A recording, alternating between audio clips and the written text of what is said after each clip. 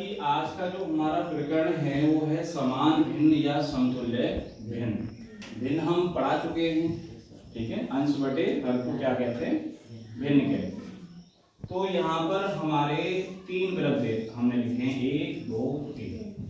एक वृत्त के मैंने तीन भाग कर लिए समान। एक दो तीन। तो अगर इसके एक भाग की बात करें तो कितना हो जाएगा? एक बटे तीन। एक बटे तीन हो जाएगा?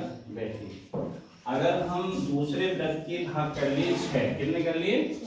इसके दो व्रत की बात दो भागों की बात करें तो उसकी भिन्न क्या बन जाएगी? दो बटे छह। दो बटे छह वेरी गुड इसी तरीका से व्रत तीसरे के हमने बारह भाग कर लिए बराबर।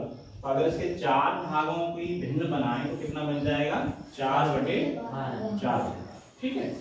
अब जब ये भिन्न एक बटे तीन दो बटे छह चार बटे बारह क्या ये भिन्न समान है या समतुल्य है? इसलिए हम देखते हैं, इनको बराबर रख देते हैं। काट के देखते हैं कि दो एकम दो दो तिया छह, एक बटे तीन हो गई। एक बटे तीन है हमारी पहले से। और चार एकम चार चार तिया बारह। अगर हम देख रहे हैं तो सबका क्या आ रहा है? एक बटे तीन के बराबर आ रही है। तो ये कैसी हो गई? समतुल्य या समान भिन्न हो समझ में आ गया?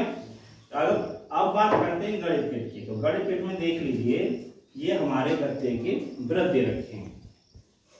ये एक व्रत है इसके तीन बराबर भाग हैं। कितने हैं? तो इसके एक अगर भाग की बात करूँ तो ये भिन्न कितनी बन जाएगी? एक बटे तीन तीन एक बटे तीन बन जाएगी। ये भिन्न कौन सी हो गई एक बटे तीन। इसी तरीका से दूसरा व्रत है इसके भाग हैं छह। कितने हैं? छह बराबर भाग कर लिए हैं। इसके दो भागों की बात करें तो उसकी भिन्न कितनी बन जाएगी बेटा? दो बटे छह हाँ? हाँ कितनी बन जाएगी? दो बटे छह। दो बटे छह छह इन भागों की यानी दो भाग कर लिए तो दो बटे छह हो गए क्लियर हो गया? इसी तरीका से एक व्रत और है जिसके हमने बारह बराबर भाग कर रखे हैं ना? तो बारह कर लें तो उसकी चार की क्या बन जाएगी? चार बटे बारह। हाँ कितना बन जाएगा? चार बटे बारह।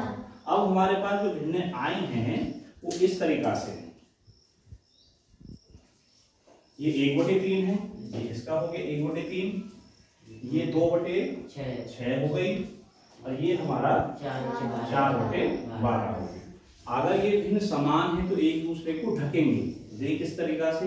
ये हमारा चार बटे बारह ये हमारी दो बटे और ये हमारी एक बटे तीन। इन तीनों को ऊपर एक नीचे समान नीचे समान रूप से रख दीजिए तो आप देख रहे हैं कि इन्होंने एक दूसरे को समान तरीका से ढक लिया है। तो इसका मतलब क्या है? ये समान भिन्न है या समतुल्य भिन्न है? देखिए, ये एक बटे तीन हो गई। ये दो बटे दो बटे छह हो गई ठीक है ना? तो कटने के बाद एक बटे तीन के बराबर आएगी और ये हमारी चार बटे। तो तीनों अगर हम ऊपर रखते हैं तो ये एक दूसरे को ढक रही हैं। तो इसलिए ये कैसे होगी तीनों?